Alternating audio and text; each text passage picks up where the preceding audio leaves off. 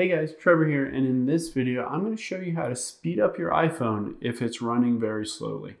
It's pretty quick and easy, so let's jump right in. Now, I'm on my iPhone if it's kind of slow to load up different pages or apps or to do anything. There are a bunch of different ways that we can help to speed up your iPhone. The very first thing, and always the easiest thing, is just to reboot your iPhone. So tap the power and the volume up and hold those and slide to power off. So this is kind of the, the very first easiest thing to do because a lot of times over time, your iPhone will have all these background processes kind of running on the iPhone itself. Rebooting it kind of restarts and resets everything. It's a great way to kind of refresh your iPhone. Now we'll go into a bunch more different things that you can do as well. The first thing is you want to swipe up and you want to close out of all these different apps that you might have um, open right now. So close out of all the apps. If you have like 20, 30 apps open, that could be bogging down your iPhone and really slowing it down.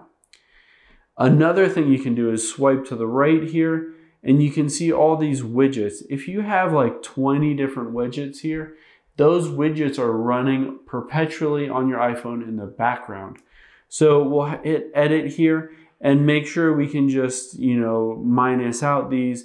Any ones that you don't use regularly, I would just remove them so that you don't have a bunch of these widgets running in the background. That'll help, again, speed up your iPhone. Now, the next thing we'll do is to head into settings here. And then we'll want to tap on general and then iPhone storage. And what you're looking for here is more than maybe like three, four gigabytes free on your iPhone. If you're running into like less than a gigabyte free memory on your iPhone, that can also bog down and slow down your iPhone. So if that's the case, you might want to offload some of these apps, you delete some of the apps, delete photos, videos, all that stuff to make more space. Now, another thing that you can do is to head into background app for refresh.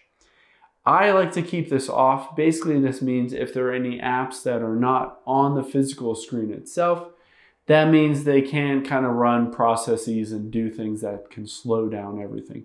So I like to just keep this off. Only apps that are currently open on my screen can refresh their feed or anything like that.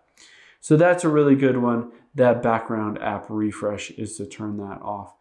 Now let's go back out of here and scroll down again.